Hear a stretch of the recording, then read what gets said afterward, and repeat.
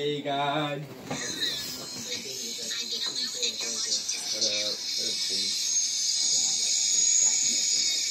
can't even I, I can't even call Tyreek